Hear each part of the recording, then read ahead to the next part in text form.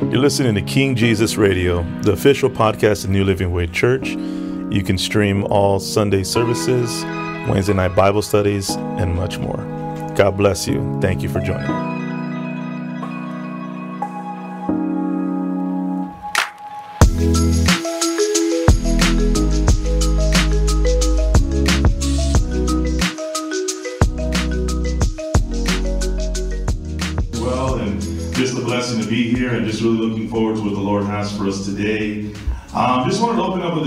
Word that I heard in the morning that came to the message this morning. And, you know, many times we may not know how to react to certain issues, certain things that are going on in our lives, or just situations that we face and go through every day, right?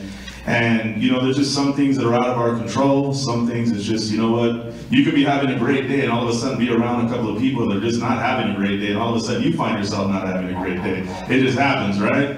And most of the time we're probably more guilty of the one bringing someone else down. But that's we're not talking about that today, you know. But we're all guilty of it in some way, right? But you know, there, there's just things many times in our lives that we cannot control. But one of the things that we can have hope and peace and comfort in is knowing that God is always in control.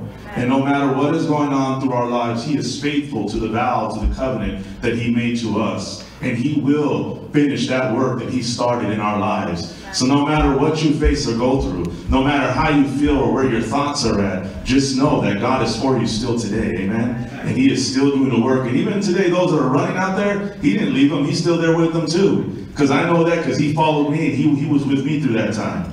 And you know what? But He brought me back and he's able to reach them today. And today, that's why we're still praising him and glorifying him. Amen. Because he is a faithful God.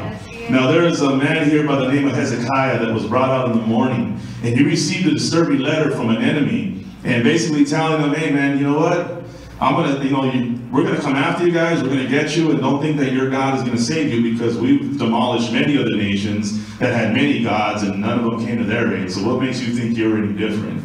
You know, so this news, I mean, though Hezekiah knew who his God is, it still, you know what? It still affects me and you. We're human, right? We still can get sad. We can still be fearful. We still have, you know, doubts. We can still have all these different things. That's normal. How many of us still get scared, right? Amen. You hear that noise in the night. Who's that? You know, but wait a minute, you're a Christian. You're not supposed to get scared. What are you talking about? I'm scared, man. The only difference with us, what we do, that doesn't happen to me very often, but kidding. Unless it's a spider, man, then I'm, uh, it's got me. But what I do is we got to bring it before the Lord. Amen. That's the difference. That's the that's the change in our hearts and lives today is that we know God. So we don't have to hold on to that fear. We don't have to walk in that fear. We don't have to walk in that anxiety or that doubt or those indecisions or that just many times in that hardship, we know we're not alone because Christ is with us. God is with us and we know to whom we can turn to. And so in, in 2 Kings chapter 19, verse 14, this is what Hezekiah did in his response to the news that he got. It says, After Hezekiah received the letter from the messengers and read it, he went up to the Lord's temple and spread it out before the Lord. And Hezekiah prayed this before the Lord, O Lord, God of Israel, you are enthroned between the mighty cherubim. You alone are God of all the kingdoms of the earth. You alone created the heavens and the earth. Bend down, O Lord, and listen. Open your eyes, O Lord, and see. Listen to Sennacherib's words of defiance against the living God. It is true, Lord, that the kings of Assyria have destroyed all these nations, and they have thrown the gods of these nations into the fire and burned them. But of course the Assyrians could destroy them. They were not gods at all, only idols of wood and stone shaped by human hands. But now, O Lord our God, rescue us from his power, that all the kingdoms of the earth will know that you alone, O Lord, are God. Amen. See, this is what Hezekiah did, and this is what we are to do. Yes. When you got that mountain, when you got those valleys, when you got these things that just seem impossible, we got to come to the Lord and bring it before Him. Amen. Did you get that bill you didn't expect? Bring it before the Lord. Amen. Did you get that letter or report you didn't expect? Bring it before the Lord. Amen. Because He is greater. He is the Lord of Lords and the King of Kings, the Alpha, the Omega, the beginning and the end, the first and the last. And let me tell you something. He's living. Amen. He's alive. He is not a statue. He is alive today, and He is alive in you today. You put your faith in Him. You are Spirit filled, Holy Spirit filled today. You got the power of God in you, and all things are possible in Christ Jesus. So when we're weak, oh, that's our strongest because He is strong in us. Amen? He is strong in us. Praise God.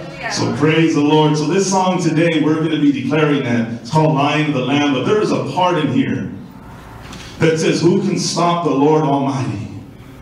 Who can stop the Lord Almighty? And I just, this part has just been in my heart all week, man. It's just been continually, and you know, through my shortcomings or through the battles or just the fires or just normal day life. But what kept reminding me was, but who can stop the Lord Almighty? Who can stop him from doing the work in your life? You know that not even you can stop the Lord from doing the work in your life. You can hinder it, you can slow it down, you can go through some detours, but it doesn't mean that God's going to stop doing the work he started in you. Amen? So no matter what you're pressing through or believing God for today, when we sing that part, let me just encourage you. Declare it with your heart. Amen? Whatever you're carrying today, give it to the Lord and remind yourself who can stop the Lord Almighty. Amen? Father, we just thank you this morning, Lord.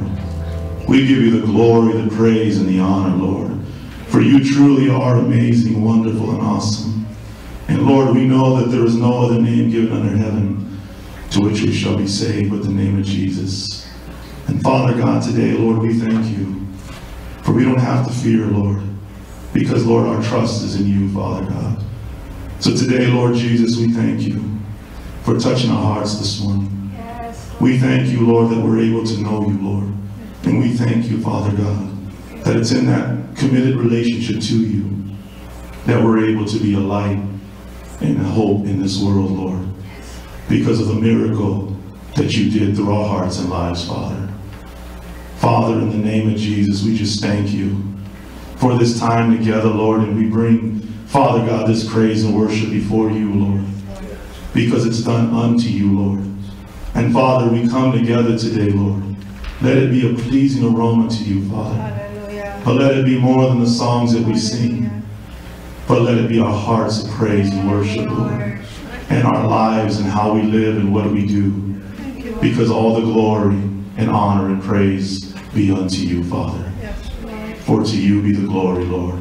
We thank you for what you've done, what you're continuing to do. And Father, in the name of Jesus, we thank you yes. for the joy of the Lord is our strength. In the mighty name of Jesus Christ, we pray. Amen, amen and amen. Let's give the Lord some praise this morning. Amen. Meet your neighbor this morning if you get a chance to say hello today.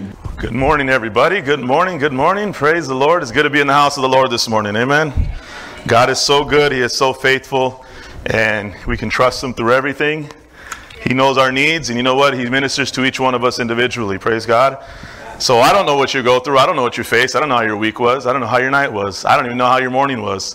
But and we can trust him through it all because he is faithful and he is good. And you know what? No matter what may go on or what we may face or what goes in our world today, there's still hope today. Still Jesus. Amen. A God who loves the world so much that he died for the sins of the world, that they may life, that we may have life, that we may know Him today.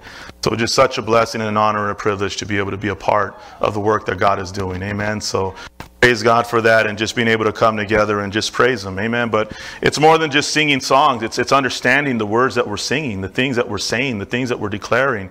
You know, music is a great gift. Amen. It is a blessing. I love music. You know, but I know that music can also play on my emotions. Amen and we have to be careful with the music, you know, and, and because it can, can make us, give us the high times, it can bring us in the low times, it could take me back to sometimes, amen, you know, so it's, it's uh, you know, we got to be careful, you know, we got to, we got to watch out, and, and uh, also the same with, you know, when even praising God, sometimes we're just looking for ourselves, for our feeling and how we want to worship God, as opposed to coming together and just worshiping God because He's God, amen. You know what I mean? So it's it's it's coming together in that heart of worship and just understanding the words that we're singing. Because what if we're singing some words that are not godly? Amen. but because it's in church, we're like, oh yeah, it's church, so it's yeah, this is holy. Amen. And you, you know, little do you know, we're blaspheming. Amen. So we got to be careful. We got to be watchful. And we got to be, you know, we can't just be run by the emotions. We have to be led by His Spirit. Praise God. But it's through that, as we focus on Him, that He starts to do that work. Because as we pour out, He pours right back in. And He just continues that flow through us. Amen. So it's just such a blessing and an honor and a privilege to be able to praise and worship God together. And let's continue to do so. Amen. No matter where you're at, you know, if you do, if you sing in the car, if you at home, or just wherever you're at, don't worry. God's not looking for our tone. He's looking for the heart. Amen. But believe me, in that heart of worship, He'll give you the tone, He'll give you the tune, He'll give you the key. Amen. And He'll lead you in that praise and worship. Uh, so don't be afraid to worship God. Don't be afraid to praise God. Don't be afraid to sing unto the Lord. And if He gives you a new song, start to sing it. Amen. Start to sing it. Amen. Start to declare those words. Amen. Start to just declare that scripture that word and start to sing it unto the Lord. There's nothing like it. Come on, we could sing the ABCs, right? Oh, all right. Not all of you, right? Come on, right? So how come we can't sing scripture? Amen. Can we, we can't put a tune to the scripture and sing it out loud? Praise God. We'll, we'll remember it better. Because I tell you, I wouldn't remember my ABCs if it wasn't for that song, right? Amen. And, and somebody said one time, try to do the EBCs without the song, and I don't think I can. So I need the song, I need the rhythm. Amen. So, you know, it's just such a powerful thing. So let me encourage you, keep praising God. Amen. So, just a couple of quick announcements for this week. Uh, we do have Wednesday night Bible study as we're continuing in the book of Revelation. We've been in the seven churches. So, I'm sorry, I don't remember which church is this Wednesday, but it's one of the churches, amen, in chapter 3, and it's Philadelphia. Okay, Brother Oscar's up this, uh, this Wednesday, so it's Philadelphia, amen. And that'll be here in the annex room at 7 o'clock, so feel free to join us. You know, we're going through that, and it's just been such a blessing. We started in chapter 1, now we're in chapter 3, and I believe we next year we may still go all the, continue in the book of Revelation, amen. So we're studying, we're growing together, we're getting connected, and it's just such a blessing and all the input and everybody's putting in together. So thank you for that, and uh, if you're not able to join us here, feel free to join us online. Um, we're also we also live stream it on Wednesday nights, and uh, just such a blessing. So you know. Um, thank God for that. Friday night, no prayer. But um, Sunday, we're resuming service next Sunday. Does everybody remember what next Sunday is? Amen. Christmas potluck. Amen. Praise the Lord. Hallelujah. so, you know, we love that spiritual food, but we also love that physical food. Amen. So, we're going to be coming together to celebrate together, and uh, that'll be next Sunday um, at the 1045 service. There will be no prayer in the morning. Doesn't mean you don't pray on your own time, but, you know, we won't have prayer here in the morning, um, but we will, we'll be meeting over here at the 1045 service next door. So, we encourage you, bring somebody with you, and let's just come together in fellowship. Amen. And enjoy the time together. Uh, the following Sundays for Christmas Eve and New Year's Eve, we will have service, um, but they will be 10 a.m. services, okay? So mark your calendars. For New Year's Eve and Christmas Eve, our service time will be at 10 a.m. I know you guys got plans, or maybe you got plans, or you know whatever you got planned. But maybe I got plans. I don't know. But you know what? 10 a.m. on Sunday morning, on Christmas Eve and New Year's Eve. So there will be no 9:15 service those those mornings, but there will be the 10 a.m. So just remember to try to remember that. Amen. So 10 a.m. service. Amen. What time is the service on Christmas Eve? 10 a.m. New Year's Eve? 10 a.m. Amen. Next week? All right, 1045. Amen. Praise God. I was trying to remember. Amen. Thank you guys. So, and if, if somebody's not here today, then just let them know. Um, and we'll continue to announce it, but also announce it next week at the potluck as well. So for those that are not here today, or maybe they're joining us online today, they can get that as well. Amen. So tell somebody. Amen. So we're look, definitely looking forward to that and just grateful to the Lord. So we're going to pray for the tithes and offerings this morning and just thank the Lord for his faithfulness. Father, in the name of Jesus, we just thank you for this day. We give you the glory, the praise, and the honor. We thank you for this time together today, Lord. And we just look to you, Lord Jesus, the author and the finisher of our faith. We thank you for taking care of us, Lord, in our provisions. We thank you, Lord Jesus, for your love, your grace, and your mercies, for your joy, your peace, and your comfort. And we thank you, Heavenly Father, for all that you have done and will continue to do, Lord.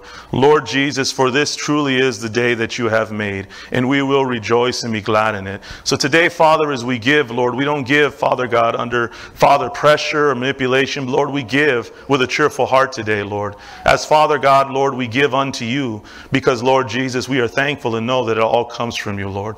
Father, we thank you today, Lord Jesus, for your provisions. And Lord, for those today, Lord Jesus, that are just asking for wisdom, Lord, in the finances, Lord, how to manage them, how to, Father God, Lord Jesus, to pay off debt, Lord, how to not get into debt, Lord Jesus, and how to live within means, Lord, and be content where we're at, Father. Lord, we know that you're able to help all of us in that, Lord. But Lord, we just have to have a willingness to come to you, Lord. And let that also, that area, also the joy in being able to give unto you, Lord. Knowing that, Father, we can never outgive you, Lord. Because, Lord Jesus, the kingdom of heaven is, Father, there's plenty, Lord. So we just thank you today for the work. We thank you for the time together here today. In the mighty name of Jesus Christ, we pray. Amen and amen. Hallelujah. Amen. We can give our tithes and offerings there in the box back there or at Zelle New Living Way Church at gmail.com. Amen. So that's also on there as well. And uh, so today, we have a, a we're, we're, we're able to be part of a blessing today. We have a baby dedication. So we're dedicating a couple children today. Amen. So I'm going to ask up uh, Thomas to come on up and Monica with you kids today. Amen. And we're going to come together as a church and we're going to be dedicating the kids today. Amen. This is Thomas and Monica. Amen. And then we have Ava and Grace. Great. Okay. Okay, amen. So this is Grace. This is great. Grace right here. Grace is right here, and Ava's right here. Amen. Well, we just want to say it's an honor and a privilege to be able to be a part with you guys and to be able to to bless them and to pray for them and, and to give them unto the Lord. You know, as we met the other day, we got to meet the other day, sit down and talk. We're actually still waiting for your mom to get here right that day. She said, but you know, it's been a blessing and just an honor and privilege to be able to do so. Not only that, they're moving to Kansas City, going tomorrow. Amen. So we're also going to pray and bless you guys as well for that. But it is just such a beautiful thing to be able to bring the kids to the Lord in honor of that. You know, we're not baptizing them, but we're dedicating them unto the Lord. And they're committing, they're choosing to say, Lord, here they are. They're yours before they are ours. And it's just a blessing to be able to know that because you know that what you can't do for them, He can. He can protect them. He can watch over them. He can be with them. Not only that, he, He's the one that created them. He's the one that has a plan and a purpose for them, just as He has for your guys' life as well. So as you're doing this today, you guys are also acknowledging that, and we're coming together and acknowledging with you guys today. But not only that, to also keep you guys in prayer, you know, to help you through the times of parenthood, of, you know, family and just togetherness, you know, and and uh, you know, and and also in their lives as they will grow up and they will make their own decisions. But you know, you gave them an opportunity to know the Lord, and that is an awesome thing because that is a great gift to give a child an opportunity to know God for themselves because they will one day come to an age where they will have to make that decision to follow Christ on their own. You know, but if we as parents can give them that opportunity to say, hey, there is another way, show them the right way, teach them the right way, let them see that in you guys as well, and those that will be coming alongside of you, you know, that's such a blessing in that. So, you know, I know that we had, they have, they have some godparents that are not able to be here today, but you know that they would be, oh, there we go, oh, come on up, come on up, godparents, they're going to come on up too. Yeah, there we go. Amen. Come on up. You guys are, you guys got responsibility too. Amen. So as the godparents, you know, you both have that responsibility as well to encourage them, to lead them in the ways of the Lord, to pray for them, and also to support the parents as well. That no matter what, they will always have an opportunity to know God, to be able to, to know that they can come to you guys for prayer, but not only you, but they can also come to you guys for prayer, for encouragement, and know that you will always point them in the way of the Lord, you know, and that is such a blessing in that. So you're not alone in this you have others behind you guys serving with you guys and looking after your kids as well and coming to the Lord for it. Amen. So we're going to go ahead and pray for you guys together. We're going to anoint them with oil and anoint you guys with oil and, uh, and just entrust them to the Lord today. Amen. Amen. So I'm going to ask that we would all extend our hands this morning. Amen. Amen. Well, Father, in the name of Jesus, we just thank you for this family today, Lord God. We thank you, Father God, Lord, that they are all fearfully and wonderfully made, and your precious thoughts towards them outnumber the grains of sand. We thank you today, Father God, as you have placed it in their heart to honor you, Lord Jesus, with their children, Father God, as they bring them before you today, Father God, and trusting you, Lord Jesus, to look after them, to take care of them, to guide them, and to lead them in the plan and purpose that you have for their lives, Father God. Father God, what a great way, Lord Jesus, to be able to do so, Lord. Because, Lord, we know that Father God, you can do far more abundantly than they could ever dream or imagine for their children's lives. And Father, in the name of Jesus, we just thank you today as you direct their footsteps in all that they do, Father God. We thank you for your love, for your grace, and for your mercies. We thank you for your joy and your peace and your comfort. We thank you, Lord Jesus, that there is no other like you, Heavenly Father. And we stand together as a church today, Lord, standing in agreement with them today. Father God, believing and knowing that your plan and purpose for their lives is for good and not for evil, to give them hope and a future, Lord God. And Lord, we come together today, Lord, as witnesses, but also as brothers and sisters in Christ. Father, that we will also stand in agreement in prayer for them, Lord. As Father God, they start this new journey, as they, Father, move to Kansas City, as they prepare to travel tomorrow, thank you that you go before them, that you go with them, that you will never leave them and you will never forsake them, Lord God. Thank you, Father God, Lord Jesus, for just establishing a home, a job, finances, Lord Jesus, a church. Father God, leading them to the right place. And Father God, Lord Jesus, but most of all, just thank you that you are with them, Lord. And we just bless them this day, Father. And we thank you, Lord, as we come in agreement today in the mighty name of Jesus. Oh, we thank you, Father God, for the daughter today. We thank you, Lord Jesus, my God, as Lord, they bring her unto you today. Father God, you know all things. You knitted her in her mother's womb. And today, Father God, we thank you that, Lord, it is your plan and purpose for her that, Father God, will prevail. And Lord, we thank you, Lord, for your covering. We thank you for your protection. We thank you for health in the name of Jesus Christ, Lord. We thank you for strong bones, my God. We thank you for a strong heart. We thank you, Lord Jesus, for a strong mind, Lord. And we thank you for a strong walk in the name of Jesus, Lord. And we just give you the praise, the glory, and the honor, Father.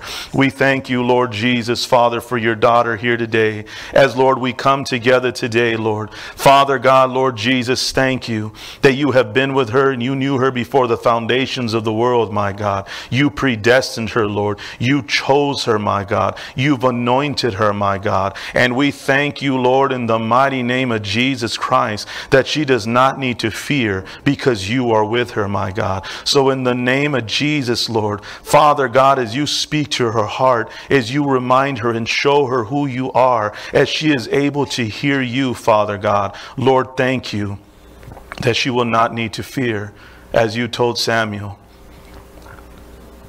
to speak, Lord, for your servant is listening. And Lord, we thank you that you have given her ears to hear what the Spirit of the Lord is speaking. And Father, in the name of Jesus, may she not be afraid or discouraged, but may she rejoice, Father. Because, Lord, you have given her words, Lord, like a two edged sword, my God. And though it's still being refined, and though, Father God, Lord Jesus, there will be work that you will do through her life. But thank you, Lord. For today, Lord Jesus, her parents are trusting you with her, Lord. And we thank you for that beautiful work you are doing in and through her lives.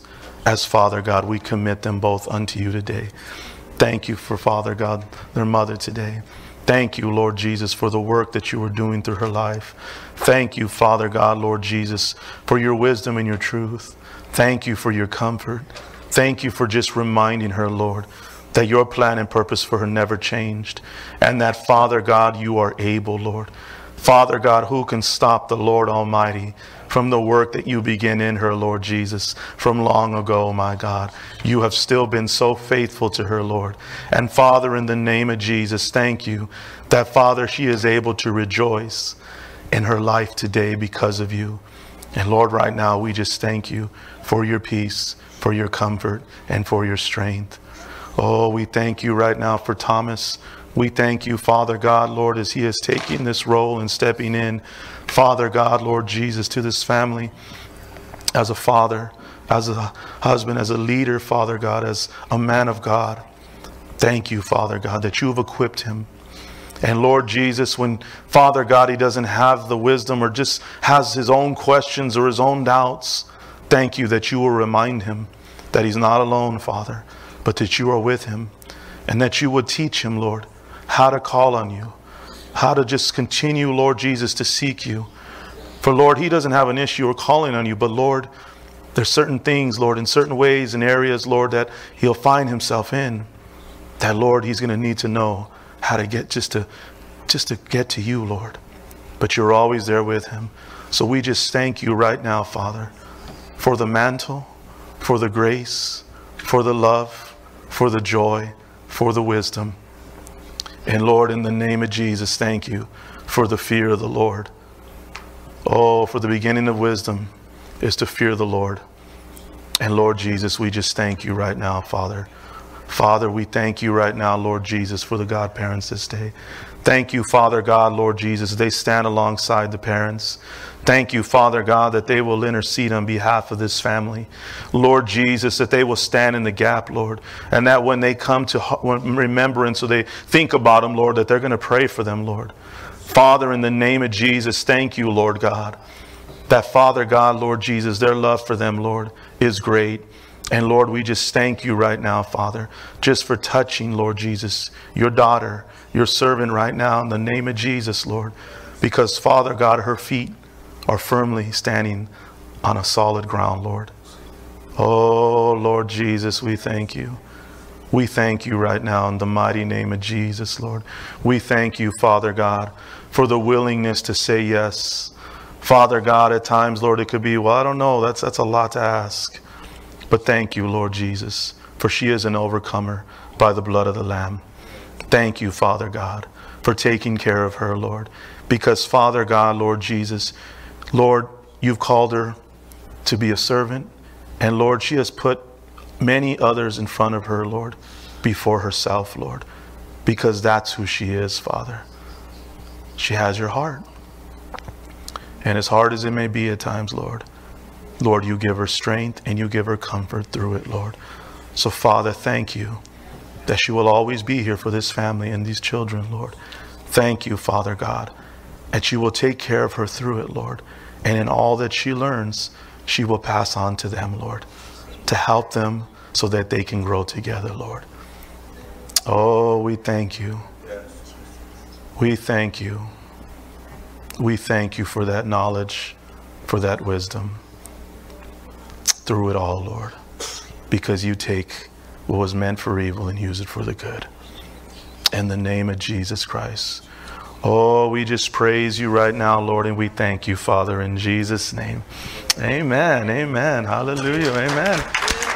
Do you guys like to say anything or? Um, I just want to thank uh, Francine and Dana for being here, being here with us, and just loving my girls unconditionally and phone call away. Amen. Yes. Praise God. Amen. Amen. You guys, Thomas, want to say anything? eh? Yeah, I would just uh, thank you, thank you all for coming today. Uh, I really feel blessed to be here and to have my girls dedicated, and it'll be a great memory to have once we carry on our, our walk with Jesus. So I really appreciate everybody being here today. Amen. We, we're, we're privileged to be a part with you guys. We can clap. Amen. We're privileged to be a part with you guys. And here are the certificates for Ava. And this is also for, here we go. And this is for Grace. Amen. On this day here. So it has their godparents' names and everything on there. Amen. No problem. Definitely, definitely. Well, thank you so much for allowing us to be a part of it. Okay. And we'll also be praying for you guys as well. Amen. Amen. I told him, even though he's a Chiefs fan, we're okay. Amen. Amen. Well, praise the Lord. Amen. Well, let's give the Lord some praise this morning. Amen. He is such a good God, and just it's such an honor and a privilege to be a part with the family, you know. And uh, we were asked to do so, so I said, "Yeah, sure, we'll definitely be a part." You know, last baby dedication we had was Ryder, Amen. So that was a that was a blessing, you know. So, and we're believing for a lot more, Amen. We're believing for a lot more, and Amen. What does the Bible say? Be fruitful. Amen. Well, praise God. Well, grateful to the Lord this morning. Rich kids rooted in Christ, you are dismissed. So we do have class today. So, and uh, I just have a short message today. Amen. Just about three hours. So we should be out of here by three today. Amen. Amen. Well, praise God. Will you guys enjoy your class? Enjoy the time. The, the Lord has some good, some good word. And for all of us that are staying in today, let's turn our Bibles this morning to Jeremiah chapter 9. Amen. We're going to turn our Bibles to Jeremiah chapter 9, and we're going to look at verse 23 to 24. Jeremiah chapter 9. We're going to look at 23. Actually, we're going to look at 23 through 26 this morning. It's okay. She can stay. That's okay. No, no worries. No worries. She can stay with us. Amen. Praise the Lord. Amen. So we're going to be in Jeremiah chapter 9, verse 23 to 26. and I'm going to go ahead and read this here. It says, Thus says the Lord, let not the wise man boast in his wisdom, let not the mighty man boast in his might, let not the rich man boast in his riches, but let him boast, let him who boasts boast in this, that he understands and knows me, that I am the Lord who practices steadfast love, justice, and righteousness in the earth. For in these things I delight, declares the Lord. Behold, the days are coming, declares the Lord, when I will punish all those who are circumcised merely in the flesh. Egypt, Judah, Edom, the sons of Ammon, Moab, and all who dwell in the desert, who cut the corners of their hair. For all these nations are uncircumcised, and all the house of Israel are uncircumcised in heart. Father, in the name of Jesus, we just thank you for your word today, Lord. And Lord, we just ask you today, Father, that you would bring forth your word, Lord Jesus, and what you are saying, not my own words, but yours, Lord. But also, Father, I ask you, Lord, that today we would receive your word for what you are speaking to us, Lord. Not what we think you're saying, but what you are truly saying today, Lord. But we know that we could only receive these words, Lord, by your Spirit today. We ask you, Father God, to let it produce the fruits, Lord, that you intended it to do so, Lord, as you send it forth today. And we just thank you, Father God, for this time together, Lord, as we trust you, Lord, and we look to you, our God, our King, our Savior. In the mighty name of Jesus Christ, we pray. Amen. So we're going to look at this scripture today, and it's kind of like a little two part here, but it's all in the same thing. But I want to look at verse 25 through 26 real quick before we get back to the first part, which is 23 and 24. And it says, Behold, the days are coming, declares the Lord, when I will punish all those who are circumcised merely in the flesh Egypt, Judah, Edom, the sons of Ammon, Moab, and all who dwell in the desert, who cut the corners of their hair, for all these nations are uncircumcised, and all the house of Israel are uncircumcised in heart. So he's talking about a people who are only religious, that are only holy or keeping tradition on the outside, but not on the inside. And this has to do, and we're going to go there, we're going to turn here to Genesis chapter 17. And we're going to look at what God tells Abraham and what, what is going on here regarding the circumcision. Genesis chapter 17, we're going to look at verse 9 through 14, and it says, And God said to Abraham, As for you, you shall keep my covenant, you and your offspring after you throughout their generations this is my covenant which you shall keep between me and you and your offspring after you. Every male among you shall be, shall be circumcised. You shall be circumcised in the flesh of your foreskins, and it shall be a sign of the covenant between me and you. He who is eight days old among you shall be circumcised. Every male throughout your generations, whether born in your house or bought with your money from any foreigner who is not of your offspring, both he who is born in your house and he who is bought with your money shall surely be circumcised. So shall my covenant be in your flesh, an everlasting covenant. Any uncircumcised male who is not circumcised in the flesh of his foreskin shall be cut off from his people. He has broken my covenant. So when God gave this to Abraham for the children of Israel, he gave it as a sign of a covenant. It was an outward expression of the covenant that God had made with Israel. A promise that he made to them that he would bring the Messiah through them, that he would be faithful to them, that no matter what they went through, he would always be there for them, that they can call on him at any time and he would turn to them, even if they walked far off, which when you read the Old Testament, you see many times they walked away from God. But God was always there to hear their cries, to turn to them, to hear from them. And honestly, I mean, I can relate. How many of us in our walk with the Lord many times find ourselves like we feel like we're way out here? but yet God is still there. He's still hearing us. He's still listening to us. Why? Because He is faithful to the covenant. He is faithful to the covenant that He has made with me and you. And so, right here, He is talking to them about them not being faithful to the covenant to Him. He's saying, You do the circumcision, but yet your hearts are far from me. You have an uncircumcised heart. So they're doing all their traditions. They're following what they're supposed to do, but spiritually, they were dead. Spiritually, they were far from God. See, we can do all the right things.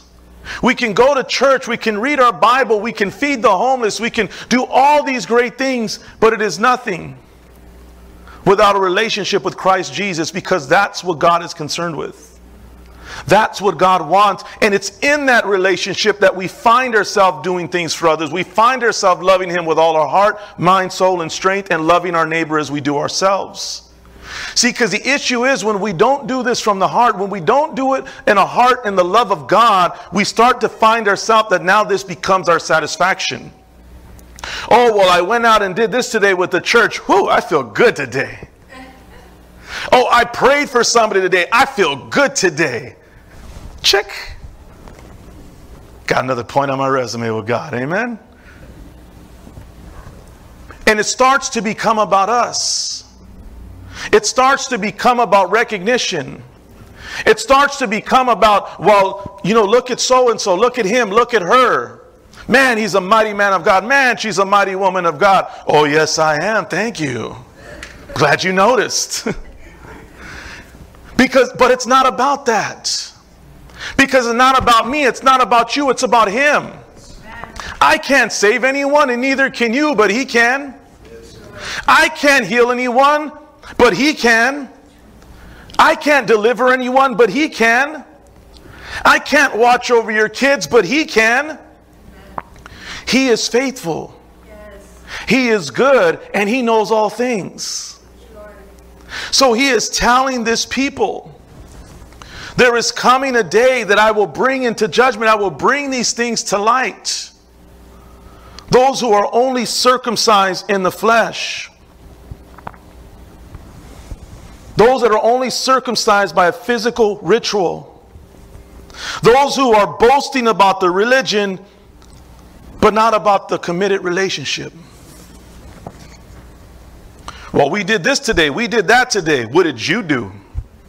And I want to bring it more to today, right? Because I, I, we always read that word boasting, right, in the Bible. Boasting and boast. Don't boast in this, boast in the Lord, all these, right? But I look at it like bragging. Because that's the word I grew up with, right? You're bragging. And as a guy growing up, we bragged about everything. Even if it wasn't true, we were going to brag about it. Women, you have your own ways of bragging. You got your own bragging rights. but there's always a case because it's just, it, it, feels good. You know what? And I made up a lot of stuff that I bragged about that I never did. But it made me feel good. It made me feel tougher. It made me feel, you know, like, man, I'm one of the guys. Because it becomes about me and you. And he's telling them, don't brag about, don't brag about your religion. That's like us bragging about, man, I'm saved, I'm redeemed, man, I'm covered by the blood of Jesus. Sucks to be you. It was a TV show I was watching, and the woman finds out that the man is a Christian, and she's upset with him. And he says, Why are you upset with me? He says, Well, you should be concerned that I'm going to hell. And he says, Yeah, that's too bad. Later on, he sees a newspaper, and he's like, Hey, where's our newspaper? They said, Oh, they must have stolen it. He goes, Why don't you grab that one? She says, No, why don't you grab it? He goes, Come on, you know where you're going. He was just boasting about it. And sometimes we can find ourselves in that place. We're so excited that we're saved, but yet we don't care about others.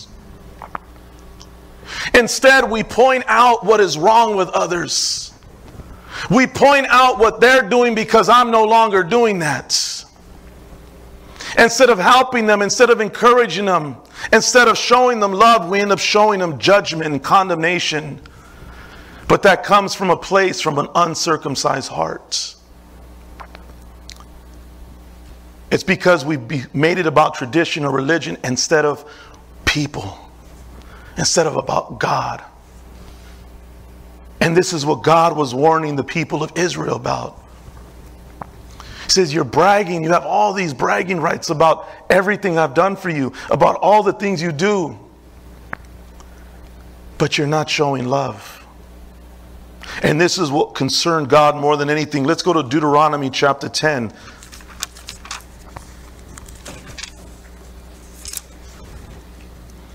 I'm going to read verse 12 to 22. He says, And now, Israel, what does the Lord your God require of you? But to fear the Lord your God, to walk in all his ways, to love him, to serve the Lord with your God with all your heart and with all your soul, and to keep the commandments and statutes of the Lord, which I am commanding you today for your good. Behold, to the Lord your God belong heaven and the heaven of the heavens, the earth with all that is in it. Yet the Lord set his heart and love on your fathers and chose their offspring after them, you above all peoples as you are this day. Circumcise therefore the foreskin of your heart and be no longer stubborn. For the Lord your God is the God of gods and the Lord of lords, the great, the mighty, and the awesome God, who is not partial and takes no bribe. There's no favoritism with God. He sees everyone the same.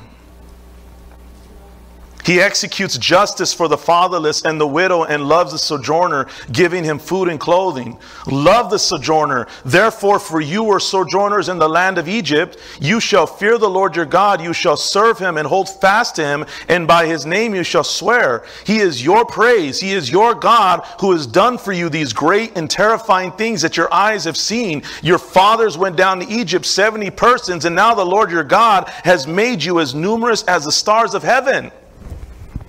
He's letting them know you didn't do this, I did it through you.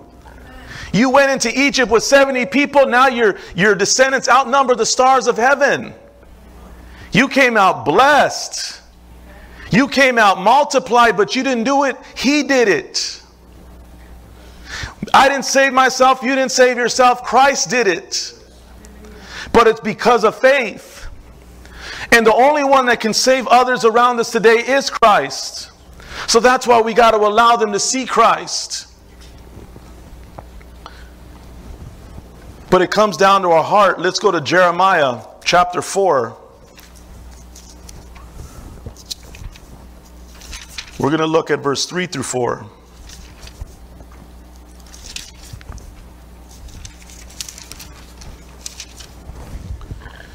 For thus says the Lord to the men of Judah and Jerusalem Break up your fallow ground and sow not among the thorns. Circumcise yourselves to the Lord. Remove the foreskin of your hearts, O men of Judah and inhabitants of Jerusalem, lest my wrath go forth like fire and burn with none to quench it, because of the evil of your deeds. I wrote here, He is not concerned with great actors that we can be at times. You know that God is not impressed with how good of actors we can be? I told you many years ago, my wife did, she was up here preaching and she was talking about hypocrite, you know, being a hypocrite, right? I hope she, she might have been talking about me. I don't know at that time, you know. But she says, I want, I wish there was one day I could just come up here and just hand out a bunch of awards for what great actors we can be in the church sometimes. And when she did that, man, I saw myself grabbing one. I was like, I shouldn't be grabbing one, man. But I saw it as the Lord ministering to my heart because it still sticks with me to this day. And that's what it means to be a hypocrite, to be a play actor. To be someone who is acting the part, but in their heart is, doesn't really believe it. See, God's not looking for good actors. He's not looking for us as people to show, like, oh, look how great I am, or look what a good Christian I am. He's not impressed of how much we know. He's not impressed with how strong we are. He's not impressed about how much we have. He's not impressed with any of that.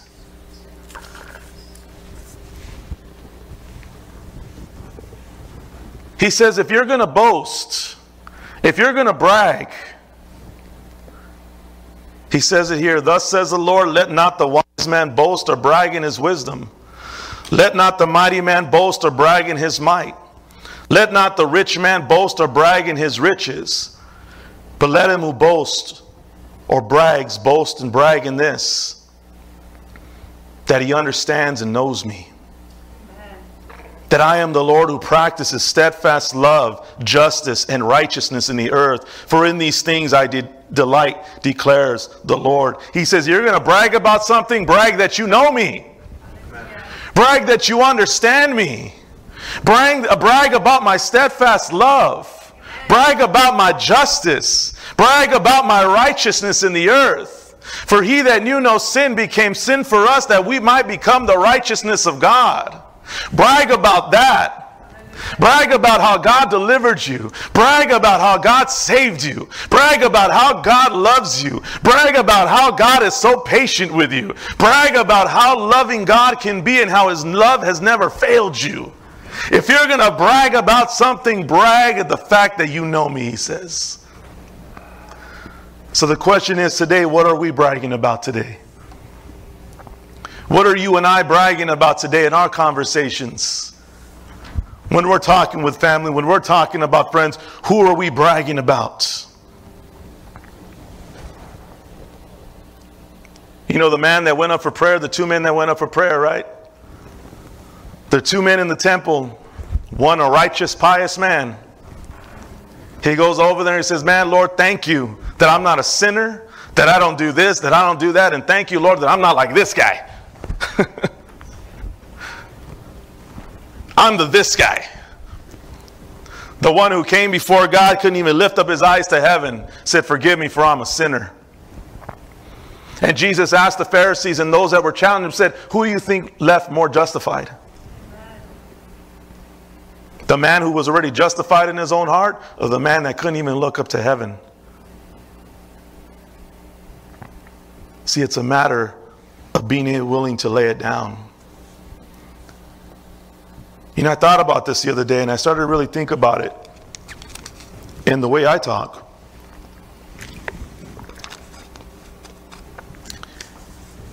And it kind of it brought some joy to my heart. Because there was a time that every other word was hadn't started with an F for free.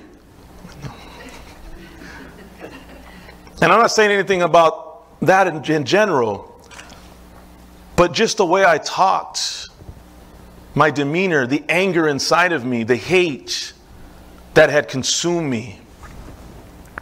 I was mad all the time. Even if I didn't show it, but inside there was just an ugliness from unforgiveness. And today I, have caught myself a couple times, and I'm pretty sure you can do the same. And you can brag about it. That there, a lot of conversations always end up being, but you know what? But thank God. Glory to God. You know what? But I thank God that He was with me. Whether they believe or they don't believe, but it always points to God. Even when I don't feel like it, even when, you know, whatever going on, but it always comes down to God.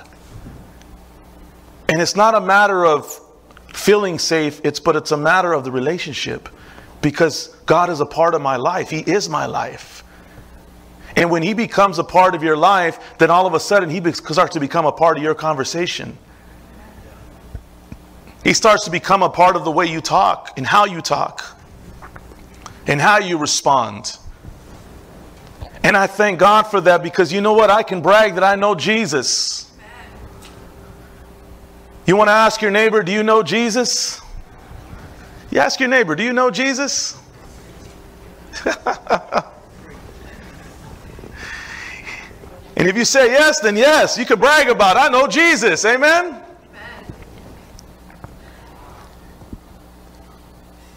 You know, it's funny. I shared with Letty, and I wasn't going to share this, but I'm thinking about it right now. You know, last night was kind of tough. I slept good, don't get me wrong. I don't let anything mess with my sleep, man. Anything mess me up, I get up in the name of Jesus, get the hell out of here. I'm tired, man. I'm like you messing with my sleep. But I was having these dreams, and it was like it was like right before you get up. You know, it's not even in the middle of the night. It's like right before you get up. So you're like trying to get those extra 10 minutes, but every time you go to sleep, it's like bam, you get another dream, and I'm like, man, messing me up. trying to enjoy these last 10 minutes I got. And it was like three of them crammed into one. And I'm like, man, it was messing me up. And I told Letty it had to do with the praise and worship today as we are filling in. And And it was like every time we tried to get started, something would happen and we couldn't get started and we couldn't play. And all of a sudden, the service was like out of order, and everything was just like there was just so much commotion, and so something kept happening that wasn't allowing the praise and worship to go through. And there came the last dream that I had was all these like famous people coming in. And because every time somebody famous would walk in, everybody, oh my God, and everybody, so service would stop. So we weren't able to start playing. And the last one that walked in was Stevie Wonder. Is he still alive? I don't know. Stevie Wonder walked in. And everybody's like, oh, it's Stevie Wonder. And all of a sudden, again, the service is not starting. And I'm like waiting till Stevie Wonder gets seated. I don't know why it was Stevie Wonder. Maybe I have to pray for him. Amen. Because he wonders. That was good. I don't know why, but yeah, that's a good one. That could be it. And I'm like, why Stevie Wonder? So I had to wait. And then finally, when everybody was okay and on there, all that stuff, then we were going to get played. That's when I had to wake up. And I'm like, man, what was that about? But then as I was talking to Letty on the way here and we're, I, was, I was sharing with her, I thought about it. I said, you know what? It was a reminder it doesn't matter who comes, it's a matter, it's unto you.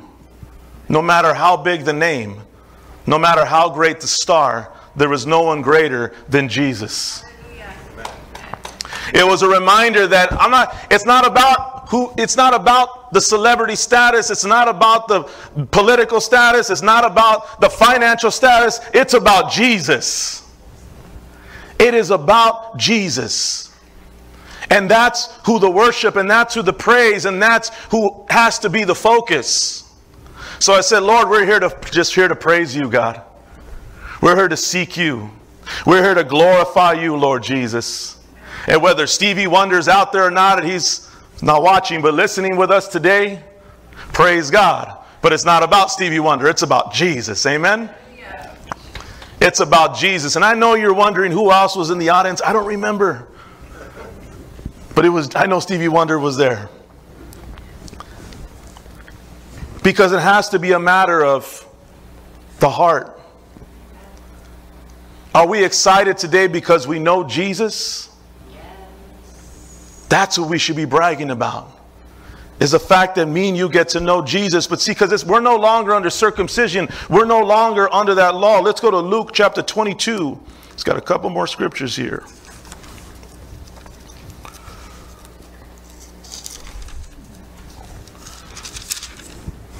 14 to 20, he says, And when the hour came, he reclined at table and the apostles with him, and he said to them, I have earnestly desired to eat this Passover with you before I suffer. For I tell you, I will not eat it until it's fulfilled in the kingdom of God. And he took a cup, and when he had given thanks, he said, Take this and divide it among yourselves. For I tell you that from now on, I will not drink of the fruit of the vine until the kingdom of God comes.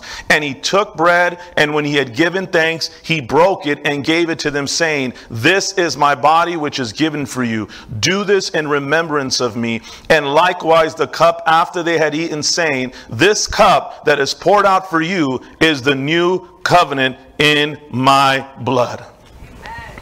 That is the new covenant today. What Jesus Christ did for me and you. What Jesus Christ did for the world. And because we put our faith in Him today, we can know and trust that He is faithful to that covenant. And even when we're not, even when we're unfaithful, He still remains faithful. That's how good He is. He's patient. He's long suffering. But how did we get there? Let's go to Romans chapter 10.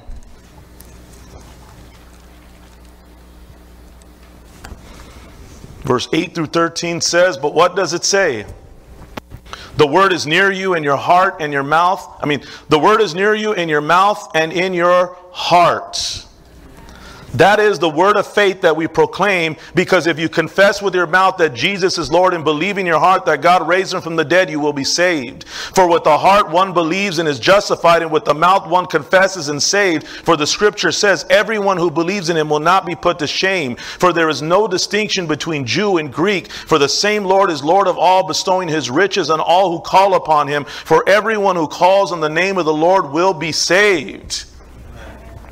Yesterday I did a funeral service and you know, the family had asked me to bring a word and, and to share, and I usually, you know, the Lord leads, I open it up for the for the salvation call. But one of the things I always say is that if you say this prayer and you believe it in your heart, your life will never be the same. But I encourage them and let them know this isn't a magical prayer. it's a prayer of faith. But if you believe it in your heart, you'll never be the same because you've allowed God to come and to change your heart because that's what truly matters.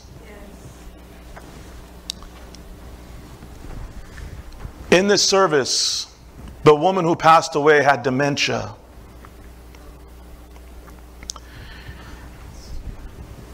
And she went home to be with the Lord. Awesome testimony of how God saved her. And I was able to share that with those that were there with us yesterday. But one of the things that really stood out to me is when it was shared with me that even in her dementia, she was still crying out to God. She never forgot about God. Because even though her mind was gone, going away, even though her body was shutting down, but her heart was strong as ever. Think about it this way. In, they, they can't remember in dementia, can't remember the, those people closest to you. But because of the God in her heart, she was able to remember to call on the Lord. She was able to cry out and God help me. God save me. God, I need you right now. That really ministered to me because that just showed me that, Lord, it's not dependent on how much knowledge, how strong, or what I have, but Lord, because you're in my heart, no matter what, I know you got me, you have her, and He has you today. So even if the body starts to fail, even if the mind starts to fail, your heart won't fail in Christ. Because He has you. Because it's a matter of knowing Him. 1 Corinthians chapter 1, 18 through 31. For the word of the cross is folly to those who are perishing, but to us who are being saved it is the power of God. For it is written, I will destroy the wisdom of the wise, and the discernment of the discerning I will thwart. Where is the one who is wise? Where is the scribe? Where is the debater of this age? Has not God made foolish the wisdom of the world? For since in the wisdom of God the world did not know God through wisdom, it pleased God through the folly of what we preach to save those who believe. For Jews demand signs and Greeks seek wisdom, but we preach Christ crucified, a stumbling block to Jews and folly to Gentiles. But to those who are called, both Jews and Greeks, Christ the power of God and the wisdom of God. For the foolishness of God is wiser than men and the weakness of God is stronger than men.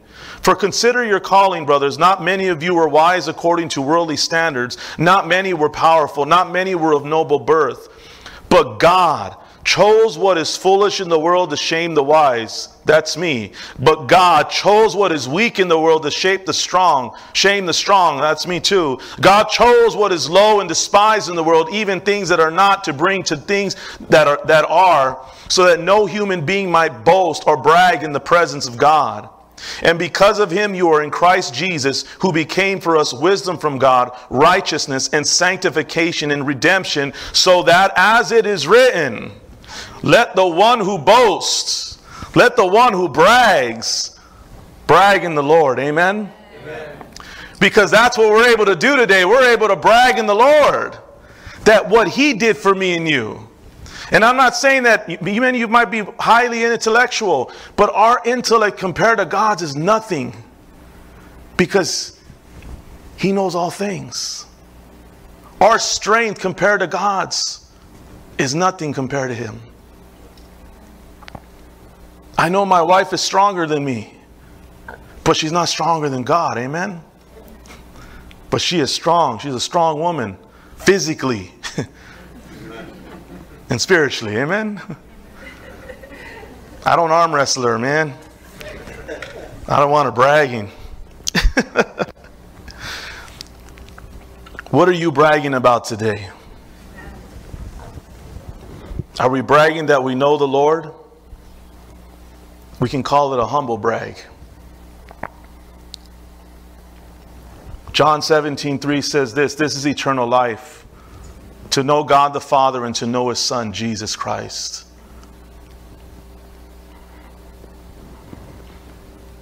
If this is what we are bragging about, then we can live content, a content life for the purpose of God's will. Knowing that His will is above all else. And I'm going to close with this scripture here in Ephesians chapter 1, verse 3 through 6. It says, Blessed be the God and Father of our Lord Jesus Christ, who has blessed us in Christ with every spiritual blessing in the heavenly places, even as he chose us in him before the foundation of the world, that we should be holy and blameless before him. In love, he predestined us for adoption to himself as sons through Jesus Christ, according to the purpose of his will, to the praise of his glorious grace with which he has blessed us in the beloved. See, God's purpose for you is good. And when we're able to come to the place that, you know what, I know Christ. But it's not so much a place of, well, I know Christ and you don't, but it's a place that we can let others know that they can know Christ. That they can have the same relationship that me and you can have. Many people brag about many things today, and it's things that me and you can have. But Christ is for everyone. Salvation is for everyone who chooses to believe. The next time you feel down, remember you know Christ, you know Jesus, you have all that you need in Him. I read this quote from Daddy Yankee. I don't know if you guys ever heard of him. he recently gave his life to the Lord. And he said, living a life of success is not the same of living a life of purpose. When you could live a life of purpose, you know that it's a life that matters because that purpose influences so many others around you. A life of success is just something that people try to attain.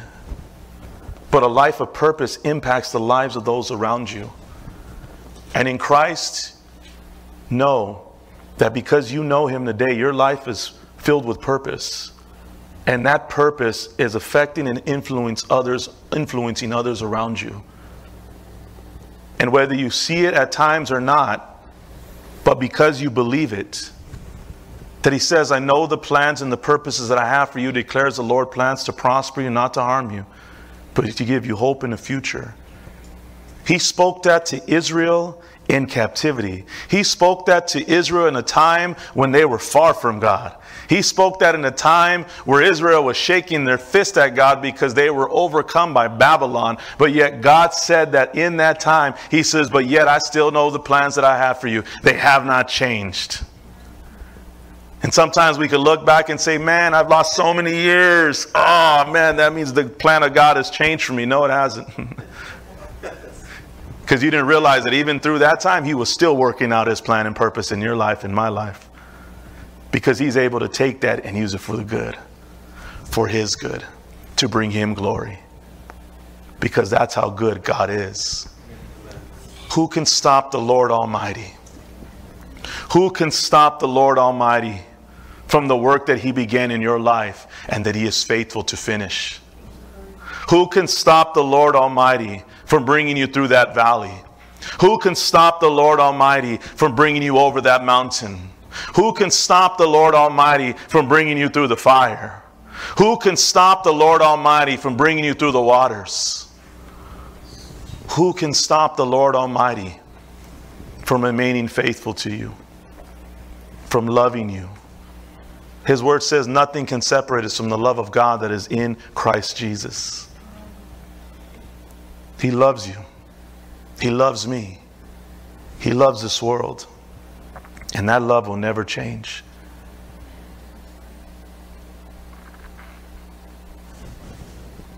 So, next time you feel you don't have something to brag about, remember, you know Jesus. You're not in lack, you're not in want. He's got you, He'll take care of you, He'll cover you, He'll protect you. He'll provide for you. Just trust Him. Because you know Him today. And keep living your life knowing that it's a purposeful life. I know there's a movie called It's a Wonderful Life, but we have a purposeful life because there's a reason and purpose for it. Amen. Father, in the name of Jesus, we just thank you this day. We give you the glory, the praise, and the honor, Lord Jesus, and we just thank you for this time together. We thank you, Father God, just for reminding us today, Lord God. Lord, that we're able, Lord Jesus, to know you today. But most importantly, you know us, Lord. But Father, today we ask you, Lord, that help us, Father God, Lord Jesus, not to be ashamed or to hold back, Lord, in talking about you and declaring you, Lord, or just mentioning your name, Lord. Because, Father God, that is the power of you, Lord. The fact that we have a committed relationship with you today, Father God, and that, Lord Jesus, we can look to you, Lord, and that you come up in our conversations, and that, Lord, we're always in the direction and pointing things towards you, Lord, to give you the glory. Because, Lord, we know it's because of you. And, Lord, we're not going to dim that light, but, Lord, we're going to allow that light to shine even brighter, Lord, so that others can see, so that others can know you, Lord, so that others can be drawn to you, Father. But Lord, we need your help, Lord. Father God, forgive us, Lord. If we have found ourselves in areas, Lord, that we have a hardened heart or an uncircumcised heart. Forgive us, Lord Jesus, for seeking after other things to fulfill our lives, Lord, when, Lord, in you we have everything. You teach us, Lord God, how to appreciate the gifts in our life, such as family, Lord, Father, friendship, friendships, Lord, brothers and sisters in Christ, the church. Father God, you teach us how to love, Lord. You teach us, Father God, how to help people, Lord. Not because, Lord Jesus, what we're going to get in return, but just because it's the right thing to do and because we want to, Lord. But Lord, help us as a church. The church is for good, Lord. The church is a beacon, is a light, my God. But forgive us for any ways and all ways, Lord Jesus, that we have made it about other things, Lord. Because, Jesus, the only thing that the church should be showing and declaring and representing is you, Jesus, the Savior, our Lord, our King, the one that saves, Lord. Father, we thank you today, Lord for helping us in our daily walk, Lord. And Father, in the name of Jesus, we thank you that we're able to come to you, Lord, and acknowledge these areas of our own hearts to you today. And Lord, we ask you today, Father God, that, Lord, we can trust you in the work that you are doing, Lord. And we just thank you for that peace within our hearts this day. Lord, we just love you, we praise you, and we glorify your holy name. And Lord, we just thank you today as we go home or go to eat or wherever we may go today, Lord, that you are with us and that we can rejoice, Lord, that we know you and we understand you. And Lord Jesus, we seek and walk in your righteousness and in your justice, Lord. We thank you this day, Father. In the mighty name of Jesus Christ, we pray. Amen and amen. Hallelujah. Praise the Lord. Amen. Well, we are dismissed this morning. If you if you need prayer, we'll still be up here today. Amen. And uh, just looking forward to it. Remember, Bible study Wednesday. Amen. So I encourage you to join us, study with us. Let's grow together. Amen.